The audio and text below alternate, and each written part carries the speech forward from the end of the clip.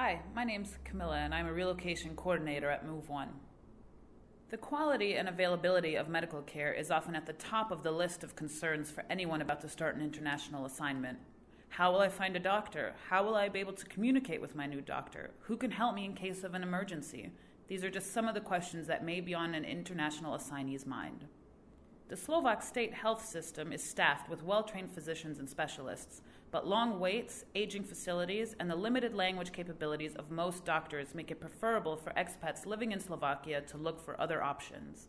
Occasionally, expats will seek out a specific doctor working within the Slovak state health system. It is also common for many of these physicians to offer home visits for an extra fee. However, most expats visit one of a group of private clinics for their health needs. The three main private clinics used by expats living in Bratislava are Medifera, Prosanus, and Hippocrates. These three clinics provide a wide range of services available to expats, including family practice, gynecology, physiotherapy, and dental practice. Medifera was established as the first non governmental polyclinic institution in Slovakia. There are two locations, one situated in the Old Town and a new facility in O Park.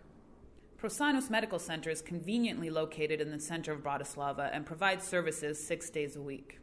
Hippocrates is also situated in the city center and provides a six day service for its patients. In addition, appointments outside regular hours are available upon request.